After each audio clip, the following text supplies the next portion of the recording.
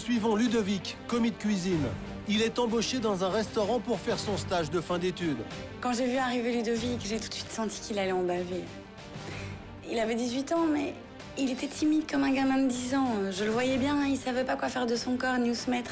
Mais le chef et son second sont tyranniques et martyrisent le jeune homme, protégé tant bien que mal par la serveuse. Chef On dit chef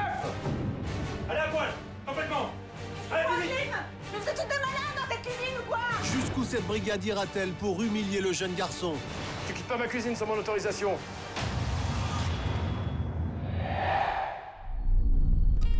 Le bizutage bon enfant, c'est d'un autre temps. Les excès ont été tels qu'il est devenu punissable. Cependant, il existe encore, et pas que dans les écoles.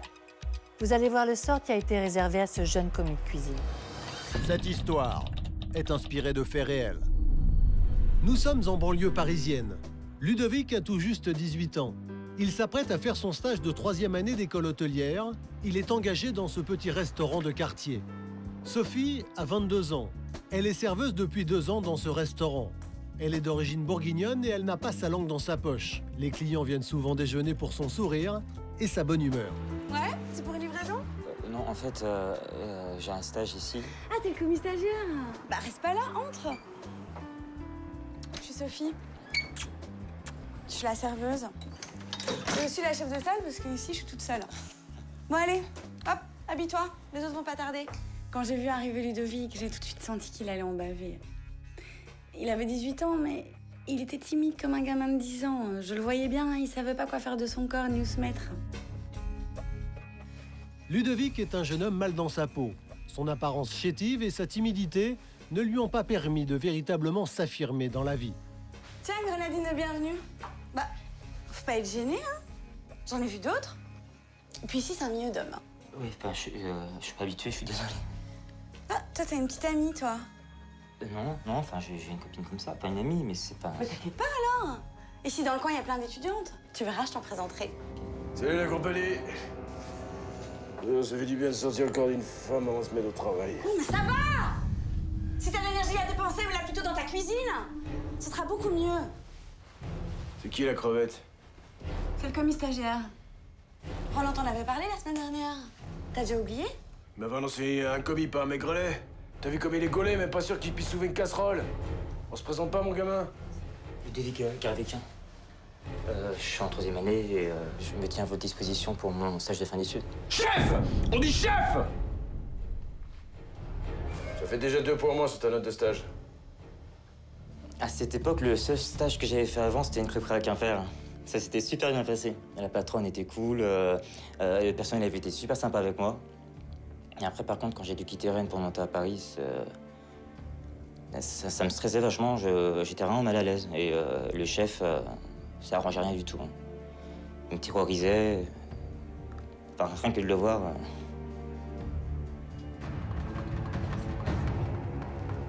Raymond est le chef cuisinier du restaurant depuis 10 ans, mais il se considère comme le vrai patron de l'établissement.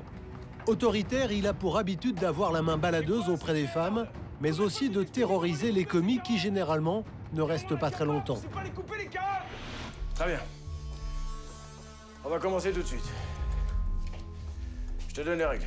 Le seul chef ici, c'est moi. T'oublies Jacques C'est lui le manager ici. Manager de mes fesses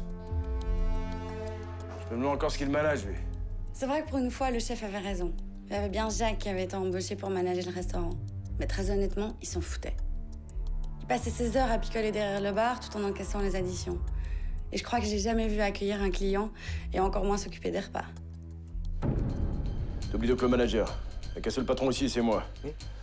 T'as bien bossé au lycée, t'as des spécialités Oui, ben, moi je viens de Bretagne, donc euh, moi j'adore travailler tout ce qui est euh, poisson, tout ce qui est fruits de mer. euh, euh, je suis assez bon dans la rôtisserie aussi. Puis ben, après, le reste, euh, j'ai envie de découvrir à vos côtés. À vos côtés, chef Si tu te les mets pas tout seul, je vais te les rentrer à coup de pied au cul, moi Oui, chef. Regardez, je, je vais vous montrer ma, ma mallette à couteaux. C'est euh, mon père qui vient de me l'offrir juste avant de venir, là. Il y a cinq couteaux et de bonnes marques, hein. Ouais, bah tu vas pas en avoir besoin pour faire le ménage ici. Nettoyer la cuisine. Mais euh, je vais pas vous seconder. Non, un bon stage commence toujours par quelques corvées. Faut que le métier rentre. Regarde, tout est là, le dégraissant, la javel. Je veux que tout soit propre pour 11 heures. Chaque tâche de grâce a un point en moins sur ta note de stage. Exécution. Oui, chef. Avant de quitter le lycée, notre professeur nous avait bien précisé qu'on ferait un stage de cuisine euh, avec un chef et qu'on cuisinerait sous ses ordres, qu'on n'allait pas faire euh, le ménage. euh, enfin, même si c'était partie des tâches, quoi. Et là, je voyais pas du tout comment j'allais lui dire. Allez, viens Viens Viens, je te dis. Je fume pas, moi. Mais moi non plus, je fais semblant. C'est le seul moyen de sortir pour un peu prendre l'air. Sinon, Raymond, il veut pas qu'on sorte. Tiens, prends ça dans la main et fais semblant de tirer de temps en temps. Allez Je viens de tout nettoyer, là, mais c'est euh, c'est crade. Mais ça, c'est sûr. Il fait nettoyer la cuisine que par les stagiaires, c'est-à-dire tous les trois mois. Mais il a pas peur des contrôles sanitaires et... Ah, mais ça, ils sont fous. Tiens, Pascal. C'est le second de la cuisine. Bonjour, Assou. Je te présente Ludovic. Il est ici en stage pour deux mois. Ils sont frais. Tu vas voir, tu vas en apprendre des choses avec moi. On se fait la bise Allez, ouais, on se fait la bise. À tout à l'heure. Il a l'air sympa. Ouais, un peu trop, ouais. Que je te dise tout de suite, il aime que les garçons. À ta place, je me méfierais. À moins que toi aussi, t'aimes que les garçons Ah non, je me suis, moi. Alors quand ça marche, quoi. enfin. Bon, allez, bien. Faut y aller, sinon ça va gueuler. Sophie, tu fais ce que tu veux, mais Ludovic, je veux pas de pause cigarette depuis trois minutes. Oui, chef. Je peux vous aider? Parce que j'ai vu que vous aviez mis de l'aliment au menu ce soir. Euh, si vous voulez, je peux lever les filets. Je peux lever les filets. T'entends ça, Pascal? Elle est bien bonne. Tu crois qu'on a accès à foutre à lever les filets? Espèce de rigolo Tiens, prends ça et décongèle.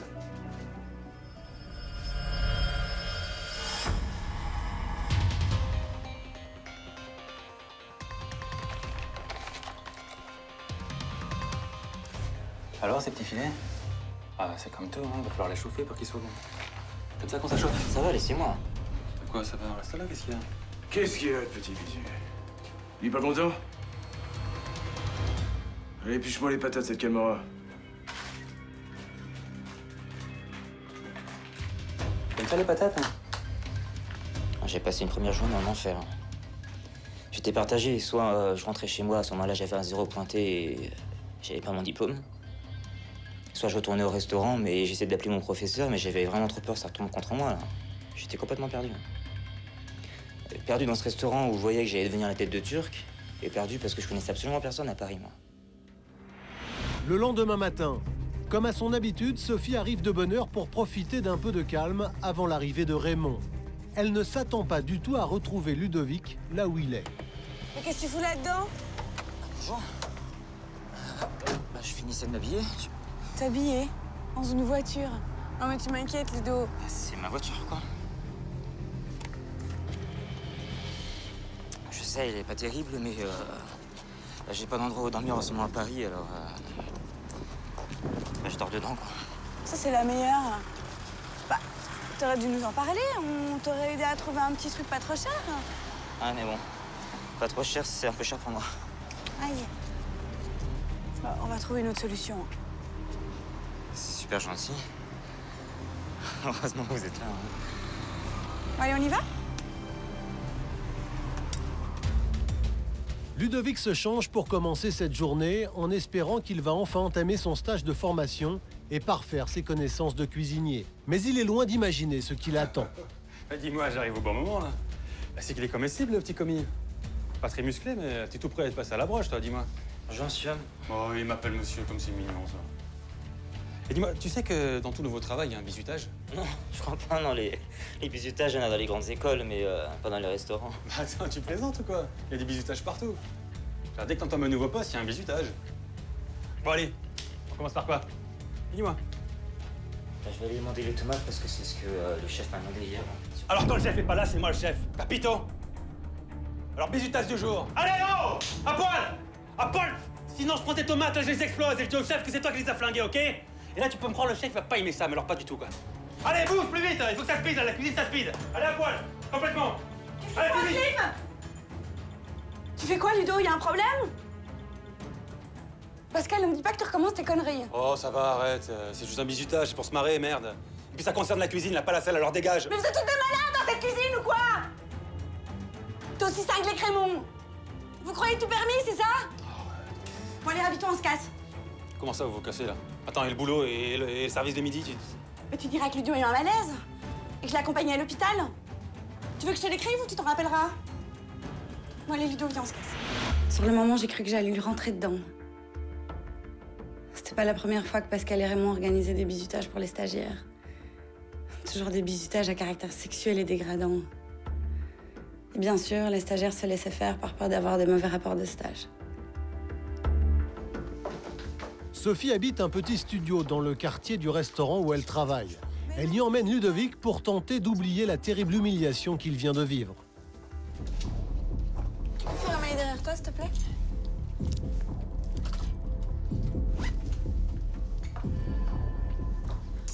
Et voilà, c'est mon palais. C'est grand. Comparé à ma voiture, c'est sûr que. Oh, tu sais, moi, ça me suffit. Hein. Du moment que j'ai un lit, une douche et une TV, tu sais, moi, tout me suffit. Ça craint qu'on soit parti là, non? Non, mais c'est surtout Pascal qui craint avec ses conneries. Et puis, tu sais, Ludo, c'est pas parce que t'as un stagiaire que tu dois te laisser faire par ces deux cons. hein. Ils vont balancer un manager? Lui? Alors, rien à craindre. Tout ce qui se passe en cuisine l'indiffère. Non, mais c'est surtout après moi qu'il va en avoir. Il va devoir se taper le service et avec le poil qu'il a dans la main, je peux te dire que ça va être difficile. hein. Attends, je sens que c'est mort là pendant le stage, non? Mais non, on verra demain. Allez, t'inquiète pas, il faut que tu te reposes. Ou alors tu prends une douche, ça va te détendre. Tiens, je te laisse la place et moi je vais faire un tour. Pourquoi tu fais ça? Parce que j'aime pas les cons. Et aussi parce que tu pourrais être mon petit frère. Mais t'inquiète pas, je vais pas te sauter dessus. J'ai déjà un petit ami. Bon, allez, prends ta douche. Tout à l'heure.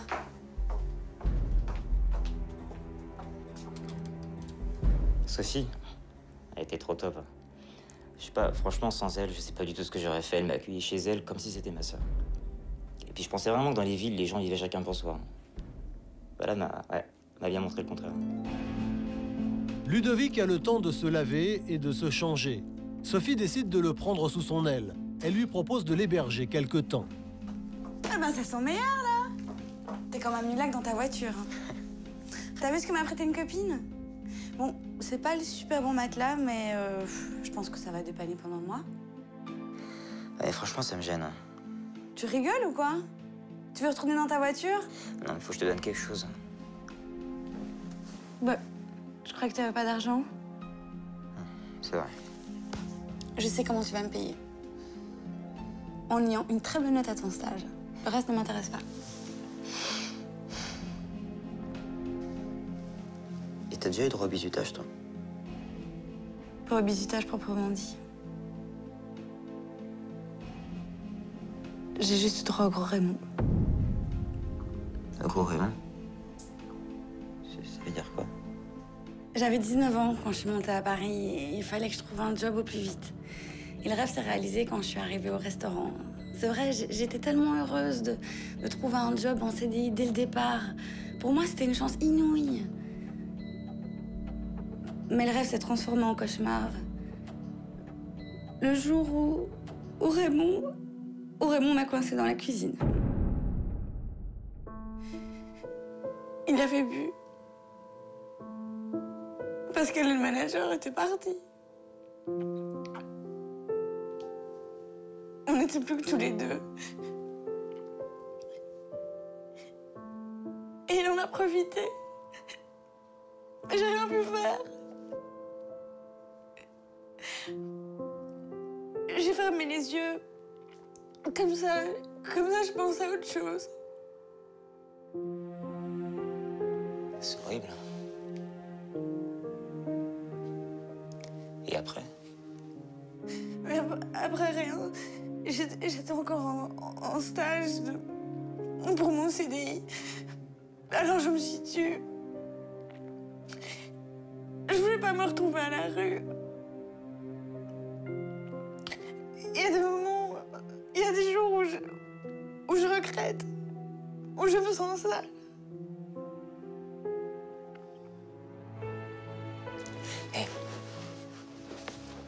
Je sais ce que je vais faire pour te remercier. Je te demande rien. Si, t'as une poêle, euh, de la farine, des œufs, du lait. Une poêle? Oui. Non. Dans la cuisine, là, il faut que tu cherches. Mais euh, faut que t'enlèves les toiles d'araignée. Tu veux faire quoi? Ouais, cherche. Euh, des œufs, de la farine, petite pincée de sel. Non, non, attends, j'ai pas fait l'école hôtelière. Ah, c'est breton. Des crêpes?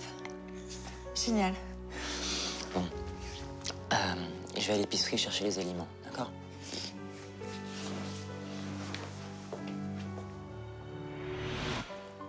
Pour remercier Sophie, Ludovic met tout son cœur dans la préparation de crêpes. Attention à toi. Encore une non? Attends, mais tu vas me faire exploser. C'est la dernière. En tout cas, elle déchire. Franchement, tu devrais ouvrir une crêperie. Hein. Bah, c'est pas pour aujourd'hui.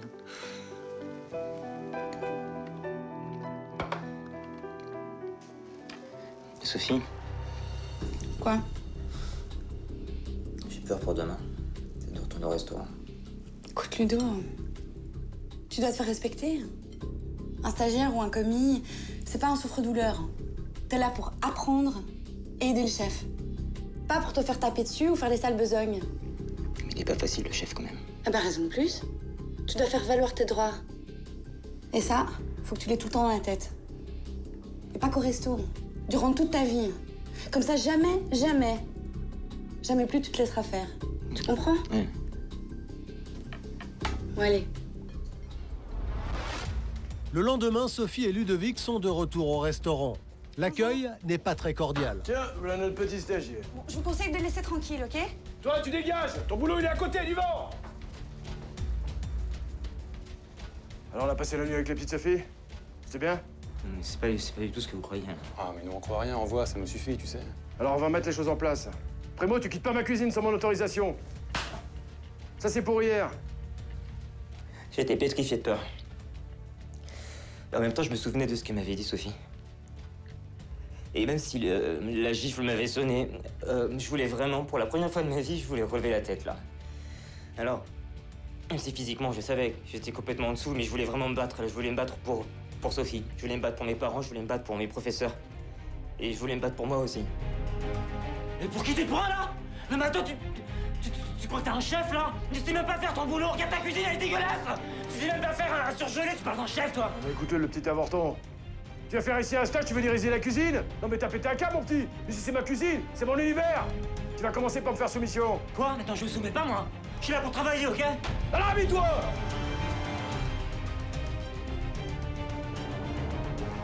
Oh, mais il est mignon Tiens, j'ai une idée. Je vais t'offrir en cadeau à mon second. C'est pas un beau cadeau, ça Ça, c'est un cadeau, tu vois, chef. c'est- Tiens, il est à toi.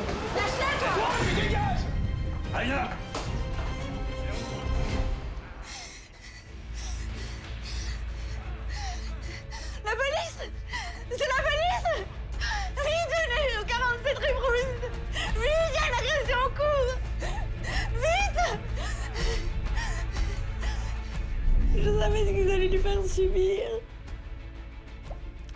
Le temps m'a paru interminable. Les cris de Ludovic me parvenaient de la cuisine. Ils ont été couverts après par les sirènes de la police. Raymond. Raymond s'est débattu. La police a dû intervenir par la force pour le maîtriser. Pascal, il s'est fait arrêter. Alors qu'il était en train de violer Ludovic. Quelques minutes après le coup de fil de Sophie, la police arrive au restaurant.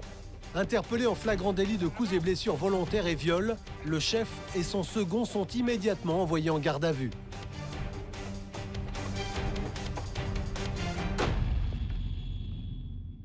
Aidé et épaulé par Sophie, Ludovic a trouvé la force de continuer son stage avec un nouveau chef.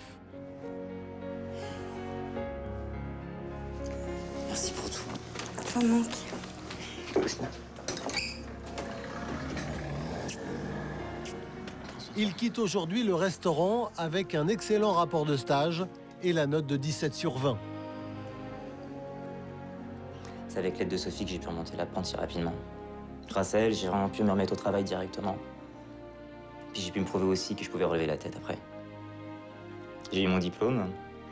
Puis maintenant, je travaille avec un grand chef dans une grande crêperie à Quimper. Quant à Raymond et Pascal, l'ancien chef et son second, ils sont condamnés par la cour d'assises à respectivement 8 et 12 ans de détention pour coups et blessures volontaires et viols en réunion. Cette peine est assortie d'une obligation de suivi médical. Pour Sophie, qui s'était fait également violer trois ans plus tôt et qui portait ce lourd secret, cette condamnation est une libération et une revanche. Elle se sent aujourd'hui beaucoup mieux, elle revoit très souvent Ludovic, ils aimeraient retravailler ensemble. Du coup, elle envisage de déménager et d'aller habiter Quimper. Notre émission est terminée. Je vous donne rendez-vous très bientôt pour un nouveau numéro.